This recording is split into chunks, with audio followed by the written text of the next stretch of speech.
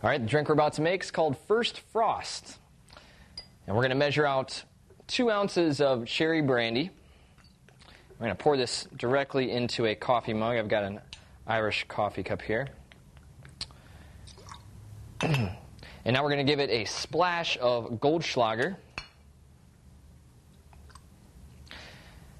Now, it's up to you on how much uh, the, the, cherry brandy you want to add. It's, it calls for two parts, so if you want to do a little more, a little less than two ounces, that's totally up to you. Now, we're going to fill it with hot apple cider. And we're going to give it a dash of powdered sugar. Got my powdered sugar here. Let's give it a dash.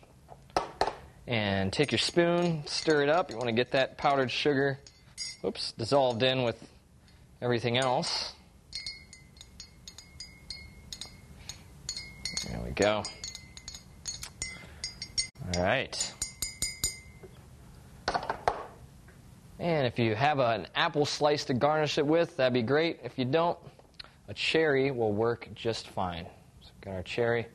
Let's go and put that on there. And that is a first frost, bottoms up.